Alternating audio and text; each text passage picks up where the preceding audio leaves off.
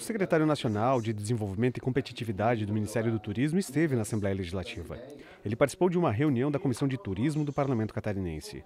Apresentou um projeto piloto que selecionou 10 cidades brasileiras para desenvolver o turismo de tecnologia.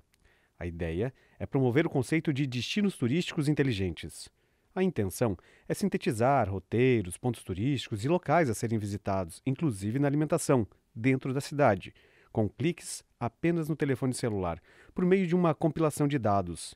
Florianópolis é a referência no sul do Brasil.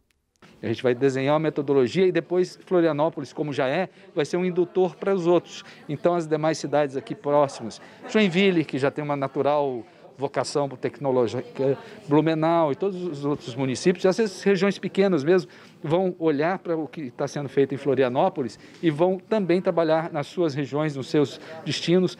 Diante desse potencial turístico percebido pelo Ministério do Turismo, Santa Catarina ganha ainda mais apoio da Embratur.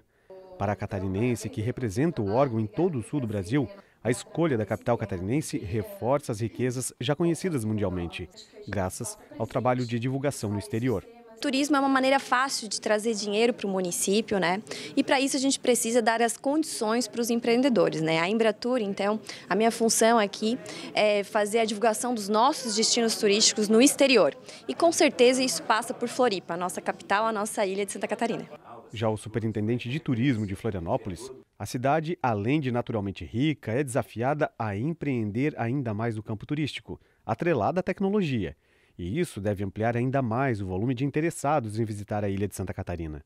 Florianópolis está saindo de um turismo de atrativo para se transformar num turismo de produto, ou seja, que as pessoas que busquem na internet coisas para fazer turismo, de turismo em Florianópolis, não só um pacote, seja com aéreo, seja rodoviário, seja com meio de hospedagem, mas que ele tenha lá os atrativos à disposição. Diante da exposição dos técnicos do turismo, o presidente da Comissão de Turismo da Assembleia Legislativa destacou que Santa Catarina é um estado naturalmente rico em roteiros turísticos desde o litoral até o interior do estado.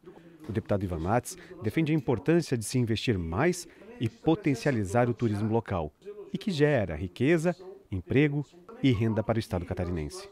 Isso mostra quanto Santa Catarina tem sido respeitada né, nacionalmente em termos de turismo. E não só nacionalmente, a gente já começa a ter destaque no Mercosul e até internacional. O resultado dessa força extraordinária que é o profissionalismo do turismo catarinense.